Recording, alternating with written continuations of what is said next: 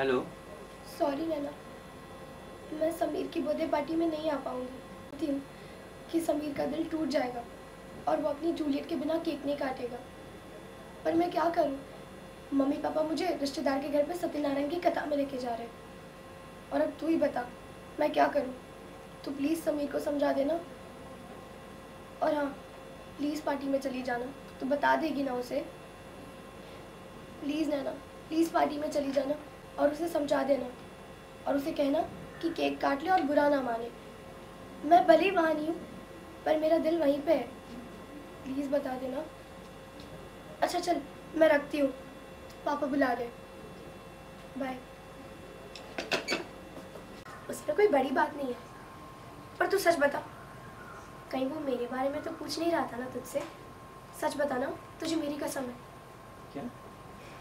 मेरा मतलब है कि समीर मन मन मुझे चाहता है, पर कह नहीं पा रहा। इसलिए वो तुझसे दोस्ती कर रहा है। समझी कि वो तुझसे क्यों दोस्ती कर रहा है?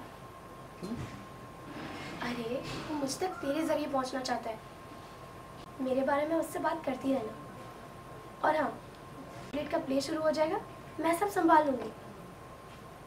और हाँ उसे ये भी बता देना कि मैं झट से हाथ में आने वाली लड़की नहीं हूँ। समझ गई ना? समझा देना उसे बातों बातों में।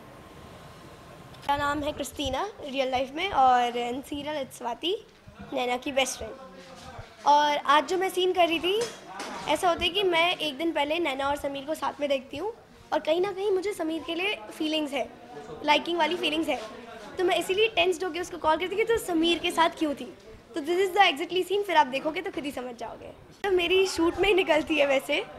बट इस बार वी आर डिसाइडिंग टू वैसे तो मैं फायर क्रैकर्स बंद नहीं करती बिकॉज़ पोल्यूशन बहुत ज़्यादा होता है।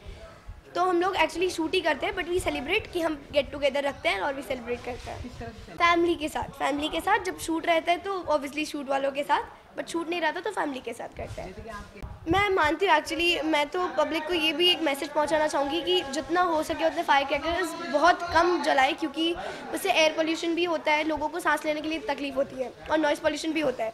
तो मैं तो नहीं करती बट पब्लिक को ये मैसेज जाना चाहिए कि थोड़ा कम करें।